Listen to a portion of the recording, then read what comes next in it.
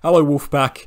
Uh, you know I'm here. I'm talking about Litecoin uh, right now, LTC, and the reason I'm talking about Litecoin is because, well, I mean, I've just discovered um, uh, absolutely brilliant fractal that I haven't talked about before, um, and I'm not really sure why I haven't talked about it before because I have known about it for a while here. But I just thought about the other day and I watched one of my old Litecoin videos I did three weeks ago and I didn't really bring it up. And I think that it's time to bring it up, time to bring it to your attention for sure, uh, because Litecoin is a coin that I'm expecting to top out with Bitcoin. And the reason why that's useful and the reason why you guys can work that into your portfolio uh, is that, and as I've been saying for weeks and weeks and weeks, if you haven't got in now, uh, it might be a little bit too late, right? It's already moved up 25% in the last day or two. So, you know, the longer you wait, the more risk you're going to be taking on uh, in terms of uh, returns you could get better in other coins. But the point of the matter is, is that you know it's still fine, and that um, you know it's going to be topping out with Bitcoin. As I said, uh, the reason why this is beneficial to you is you can trade Litecoin, right? Wait for the Bitcoin top, sell when Bitcoin tops, and then filter that money you gained, those profits you made from Litecoin, into some altcoins that haven't moved yet. Because there's two types of altcoins in the market. There's the altcoins that move with Bitcoin, and there's the altcoins that move after Bitcoin moves, right?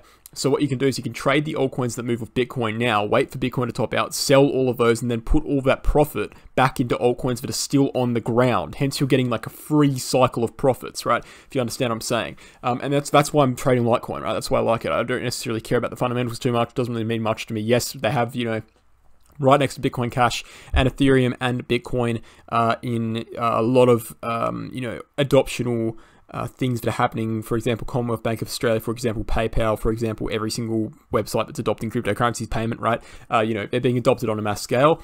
Uh, so obviously it's good, uh, good enough to be adopted, uh, but that's not what I'm trading, right? I'm trading for the profits because um, I'm not planning to hold it for a long period of time. Uh, and the reason why I'm trading it right now is because, well, I've, I've, identified this fractal. And before we get into the fractal, which is the main part of this video, let's just look a quick overview of the weekly, of the daily chart, sorry. Then we can get into the fractal on the weekly chart, which is the main part of this video. So the daily chart, as we expected, we, what did we say would happen, right? We said, uh, we made this video three weeks ago, and we said that, so we must have made it somewhere back here somewhere, right? We said that we would see uh, probably, you know, some uh, kind of inverse head and shoulders pattern. We saw kind of an inverse head and shoulders pattern play out. It got rejected though as Bitcoin dropped down. We saw extensive consolidation. We said we'd break to the upside in mid-November. It's currently mid-November and we've broken to the upside. So everything we expected to happen happened, right?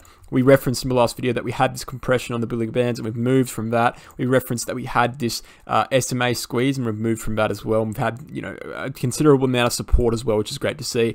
Uh, as for the VPVR, we flipped the POC and this is what we mentioned in the last in the last video as well. We recently flipped the POC in the last video. We also came back down, retested it once again, and now we moved to the upside. So the POC on the volume profile is an area in which there is a massive amount of historical trading attention in that region. So if you're above it, it acts as support support. If you're below it, it acts as resistance, right? And acted as support, which is great to see. Um, what we also saw was some sort of, well, we saw an RSI resistance line here, and we actually flipped that. I could draw this better with a line, but the point of the matter is, is we flipped it, retested it, and headed to the upside, which is very bullish as well. And we finally saw in the last couple of days a bullish MACD cross, and we've actually blasted out to the upside above our neckline. So this is technically still uh, an inverse head and shoulders pattern, and the reason being is because, well, it looks like an inverse head and shoulders pattern, right? And we can take a targeted move from the bottom of this head to the neckline, which is around here, we'll say, and then we can extrapolate that data to the breakout point, which should be around uh, here somewhere. We can see that the target for this move is around 315 USD. Uh, whether we will move there without consolidating, without correcting, that's another question. But the point of the matter is, is we've already moved up 25% in 24 hours. So, um, you know, we're going pretty well so far. It's clearly a breakout. And you know, this is more evidence right now, uh, you know, other than the last two cycles of evidence we've had, but this is more evidence that it moves with Bitcoin because you'll notice that uh, as soon as Bitcoin took off yesterday, uh, Litecoin took off right with it, while a lot of altcoins actually waited a few hours and lagged behind for a little bit. Litecoin quite clearly moves with Bitcoin.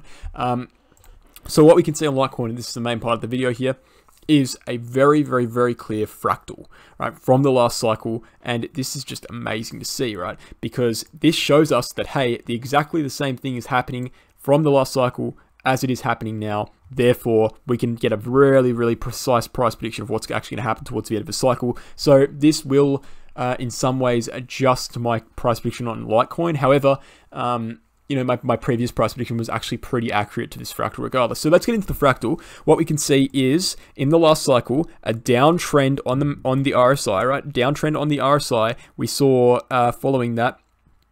Um, sorry, we had a downtrend. I'd circled the wrong thing. We had a downtrend on the RSI. We saw a little W formation and then a spike to the upside. We've had a downtrend on the RSI, a little W formation, and we're going to be spiking to the upside, right? All of the dates line up perfectly right? We topped out here, right? We topped out here. Everything lines up perfectly. Um, we had a bottom, and we're moving in November, right? We're moving in November. We topped out here in late August. We topped out here in late August here.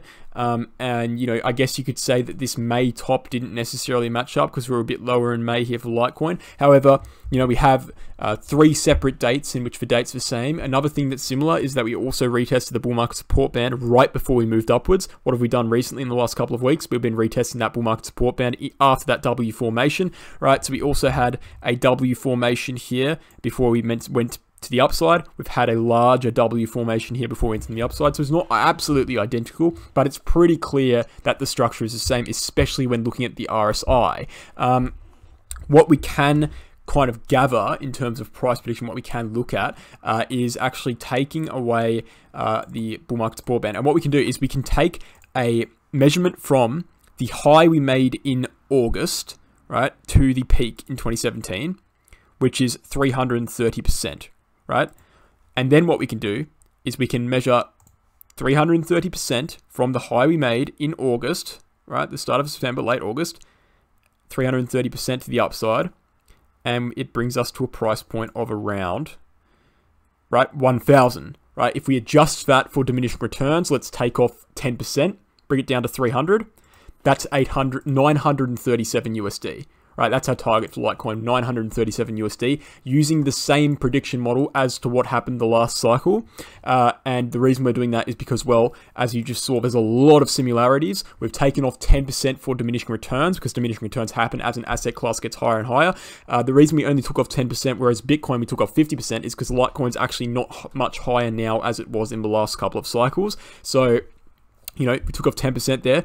937. Um, our previous price prediction for Litecoin uh, was an extrapolation of data, uh, 130% upwards from the current uh, all-time high in Litecoin, which brings us to 951. And how we came to that was because, well, Litecoin reached a price point of around 420 USD, while Bitcoin reached 64k. Assuming Bitcoin goes to our price target of around 113k by January the 6th, uh, extrapolating that data to Litecoin and adding 50% returns because altcoins outperform Bitcoin by around 50% typically in that uh, market capitalization range. That brings us to a price point of around 955. So now we have a very clear price target for Litecoin between 937 and 955, right? So we've really narrowed that down, and this is one of the reasons why I like Litecoin. Yes, there's not going to be exponential returns, right? It's only about a 4x, less than a 4x, but we have so much evidence for this. This coin has been around for much longer than other coins. It's more of a sure bet, right? We know when it's going to top out exactly. It's topped out with Bitcoins in the last two cycles. So as soon as we start seeing the Bitcoin top, we can see the Litecoin top. Another thing we can do is look at the RSI and predict the top by the RSI. We can see that in the last cycle, uh, let me check this real quick. We saw um, the RSI reach 98 here. Uh, it reached 98 here at the peak. It reached 87 here at the peak, and it came all the way back up to around uh, 92, so minus 6. And we can say that, you know, just off the top of my head here, uh, I'm going to say around, it should be around 84 82, something like that. So when the RSI reaches around 82 uh, in this cycle as well, that will probably be uh, some sort of top signal as well, and that's expected to happen uh, when Bitcoin tops out in early January. So we're looking at 82 on the RSI, and we're also looking at uh, 937 to 955 on the price chart. So I hope that made sense. Uh, I think it's pretty convincing. Let's look at the Bitcoin pair quite quickly as well, just to end off the video. Uh, on the Bitcoin pair, what we can see is a pretty clear uh, bullish divergence on the RSI, right? Uh, price is headed down and the RSI is headed up, so that's good to see. We've also got a bullish MACD cross incoming uh, within the next week, which is great to see, and that's another spike to the upside there, and that's probably driven by the fact that uh, Litecoin has been moving pretty well. Uh, we've also, as predicted, bounced off the all-time low, right? We had the all-time low here and here, and we said we're going to bounce off this, and we have seen a little bounce off of that right now. We said on Litecoin that we won't be reaching all-time highs in the Bitcoin pair because the all-time high was made in 2013, right? As you can see in 2017, we had a massive bull market, and we didn't even reach anywhere near that. So I'm actually only expecting to reach somewhere around uh, 10, 11,000 sats here uh, on the Bitcoin pair, right? Because think about it. 2013 we went absolutely parabolic. 2017 we went absolutely parabolic. We didn't even get near it. So this cycle, there's no real reason why we'll get near that, right? So 11,000 sats, 8,000 to 11,000 sats. I'm thinking any, anywhere in that region, but ultimately I'm expecting a pretty sharp move on the Bitcoin pair in the next couple of months before Bitcoin tops out. So Litecoin looks good. Yes, you know, as of right now, and you know, I have been, I've been telling you to, you know, I'm not going to say I've been telling you to get into this coin, but I've been, I've been sharing my views on this coin for months now, uh, even when it was down here at the very bottom, right, at around 100 USD, 110 USD. Um, so I can't really uh, feel too bad for you if you haven't really got into this one yet. But the point of the matter is, is that if you're in it, or maybe even if you want to get in it now, you know, it looks good. Um, it's not going to give you a 20x, right? This is a coin that uh, is quite conservative. It's been around since 2013. We have a lot of data for it, and hence we can make quite precise price predictions, unlike most altcoins. And that's why I like it, right? Because I can be sure it's one of these more conservative coins in my portfolio that I think every portfolio can have. It's some decent large cap exposure. Um, and it's one of those coins that you can easily predict when it's going to top out, cut those profits, and sink them back into another altcoin that is still on the ground. So I like Litecoin a lot. Uh, let me know what you guys think. Thanks for watching, and I'll catch you in the next one.